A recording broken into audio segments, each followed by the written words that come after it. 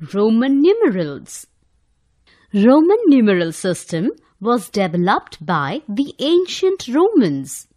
It is based on seven letters of the alphabet. Let us write them in a table as follows. The following chart displays the Roman numerals up to 100.